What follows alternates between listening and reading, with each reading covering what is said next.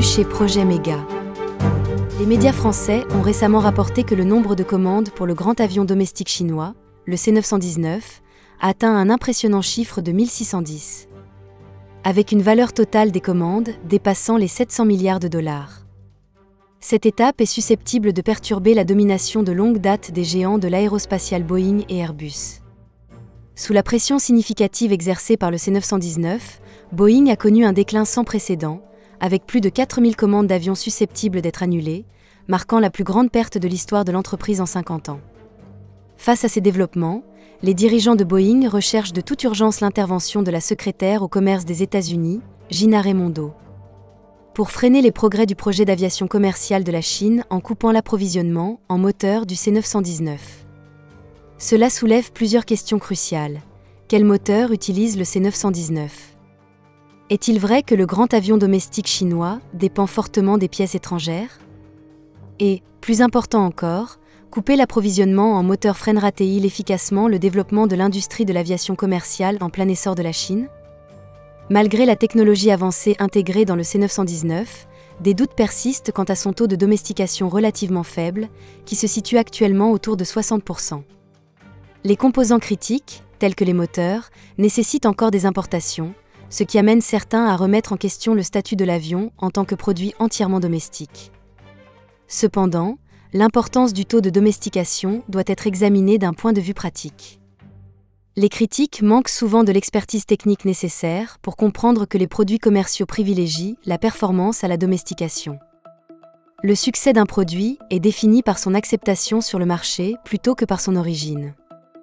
Même les géants de l'industrie comme Airbus et Boeing s'approvisionnent en pièces à l'échelle mondiale, avec des taux de domestication de 50% pour le Boeing 737 et de légèrement plus de 30% pour le Boeing 787. En tant qu'usine du monde, la Chine est un fournisseur majeur de composants d'avions à l'échelle mondiale. Boeing et Airbus s'approvisionnent tous deux en composants importants en Chine, y compris les ailes et les fuselages produits par des sous-traitants chinois. Le lancement de l'avion domestique de la Chine est une progression naturelle dans cette industrie mondialisée, reflétant les développements observés dans d'autres secteurs industriels. Pour les produits sensibles comme les avions, la confiance du marché est cruciale. Utiliser des composants étrangers matures aide à gagner rapidement la confiance du marché et simplifie le processus de certification. La véritable mesure du progrès n'est pas la capacité à fabriquer des composants individuels, mais la compréhension nécessaire pour construire un grand avion. Initier le projet est essentiel pour saisir les technologies, les composants et les normes nécessaires. Au départ, il est acceptable d'importer tous les composants, car la substitution domestique peut être réalisée progressivement. A l'inverse, sans démarrer le projet, il n'y a aucune compréhension du concept global de l'avion, laissant un pays produire passivement des composants basés sur les normes définies par d'autres. Le taux de domestication initial du C919 n'était que de 30%, mais sous la pression des États-Unis, la Chine l'a augmenté à plus de 60%. Pour le C919, un taux de domestication de 60% n'est pas un problème, mais pose un défi important pour les fournisseurs étrangers. En tant que produit hautement domestiqué entrant sur le marché, les fournisseurs étrangers font face à une menace substantielle. La demande mondiale de composants pour gros avions est limitée, ce qui soulève la question de savoir pourquoi plus de pays n'ont pas pénétré ce marché lucratif.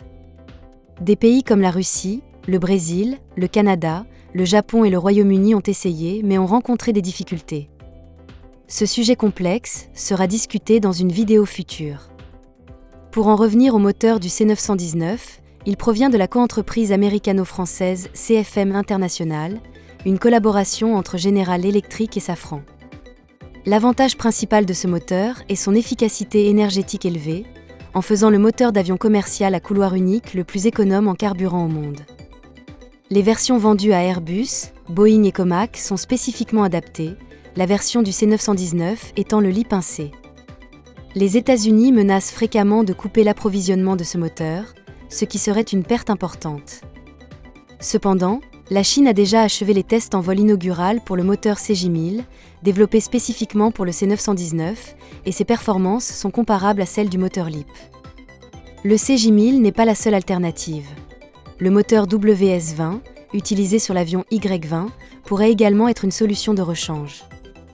Même si les États-Unis imposent des sanctions, la transition vers des moteurs produits localement est inévitable.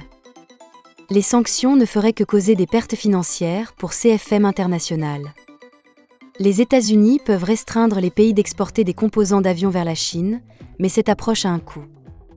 Le libre-échange profite aux deux parties, et les sanctions commerciales nuisent aux deux. Une fois imposées, tous les pays de la chaîne d'approvisionnement, y compris les États-Unis, souffriront.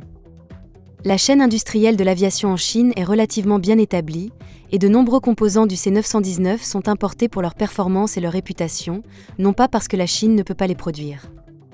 Quelles que soient les sanctions, les composants passeront progressivement à des produits fabriqués localement, comme dans les industries automobiles et ferroviaires à grande vitesse. Les sanctions passées n'ont fait que retarder temporairement les progrès. Par exemple, lorsque les États-Unis ont exercé des pressions sur le Canada pour couper l'approvisionnement du moteur turbopropulseur PW115C pour le jet régional domestique Shenlong 7 Sense, la Chine a développé l'alternative AE 5 Sense en deux ans. Les sanctions ont retardé les progrès, mais ont entraîné des pertes commerciales permanentes et des dommages à la réputation des pays occidentaux. La voie de développement de la Chine met l'accent sur l'autosuffisance et la préparation, avec des technologies militaires facilement convertibles à un usage civil. Par exemple, la série d'avions régionaux Shenlong a été développée à partir de l'avion de transport militaire Y-7, et plus de 100 unités ont été exportées avec succès vers 19 pays. En conclusion, couper les moteurs du C919 n'arrêtera pas les progrès de la Chine. Le C919 continuera de passer à des composants produits localement, et la Chine persistera dans sa stratégie d'autosuffisance, assurant ainsi sa position dans l'industrie aéronautique mondiale. L'industrie de l'aviation en Chine n'est pas un cas isolé. Elle fait partie d'une tendance plus large vers l'autosuffisance technologique et l'avancement industriel. Les leçons tirées du projet C919 sont applicables à d'autres secteurs de haute technologie où la Chine vise à réduire sa dépendance à la technologie étrangère. Le développement des capacités indigènes dans des domaines tels que les semi-conducteurs, les énergies renouvelables et l'intelligence artificielle suit une trajectoire similaire mettant l'accent sur la collaboration initiale avec des partenaires mondiaux, suivie d'une indigénisation et d'une innovation progressive. De plus, le paysage géopolitique change rapidement. Alors que les tensions entre les grandes puissances continuent d'augmenter, les pays priorisent de plus en plus la sécurité nationale sur l'intégration mondiale. Dans ce contexte, l'accent mis par la Chine sur le développement de sa base technologique et la réduction de la dépendance aux composants étrangers est à la fois une nécessité stratégique et une progression naturelle. Les investissements substantiels du pays dans la recherche et le développement, associés à des politiques gouvernementales soutenant l'innovation technologique, créent un écosystème robuste pour la croissance future. Les implications du succès du C919 vont au-delà de l'industrie aéronautique. Il symbolise la prouesse technologique croissante de la Chine et sa capacité à rivaliser à l'échelle mondiale. Cette histoire de succès est susceptible d'inspirer de nouveaux progrès dans divers secteurs, renforçant ainsi la position de la Chine en tant que leader mondial de la technologie et de la fabrication. Alors que la Chine continue d'innover et d'étendre ses capacités industrielles, elle rencontrera inévitablement une résistance de la part des puissances établies. Cependant, la résilience et la détermination démontrées dans le projet C919 suggèrent que la Chine est bien préparée à naviguer dans ces défis et à en sortir plus forte. Dans le grand schéma des choses, le C919 représente plus qu'un simple avion commercial. Il témoigne de la capacité de la Chine à réaliser des percées technologiques et à affirmer sa présence dans des industries mondiales critiques. Le parcours du C919, de l'initial scepticisme à l'acceptation généralisée, souligne l'importance de la persévérance, de la planification stratégique et de la collaboration internationale.